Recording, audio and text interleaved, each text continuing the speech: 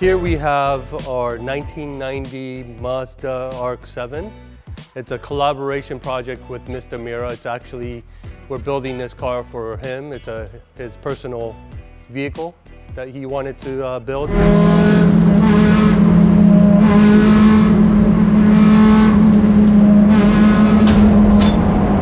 Um, he came to us early this year wondering what he should make next and uh, he wanted to build a more of a old school Japanese car and uh, he picked this uh, RX-7 and he wanted me to locate one here locally. And uh, as soon as we found it he said he'll make a, a kit for it.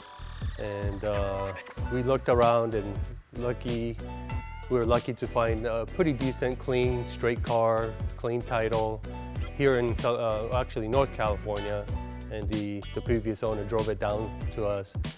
Um, but yeah, it's uh, kind of like a resto mod type uh, build, trying to keep certain things period correct, but with this new wide body kit from Pandem, um, but still kind of keeping the, the lines and the look of the 90s, late 80s, late 90s kind of feel. But uh, when we got this car, um, it was pretty good condition and it had all the upgrades and mods. Um, we were surprised to see Greddy turbo kit that was on there. Um, we upgraded the turbo from the, the, original, but it had cast manifold, which is almost 30 years old. Um, even had some of the, the outlet um, intercoolers that had our components, but we're gonna refresh it. Um, engine is fairly not touched, but the previous owner had it built uh, with upgraded seals and things like that, but we didn't really go in into it, but we just cleaned it up.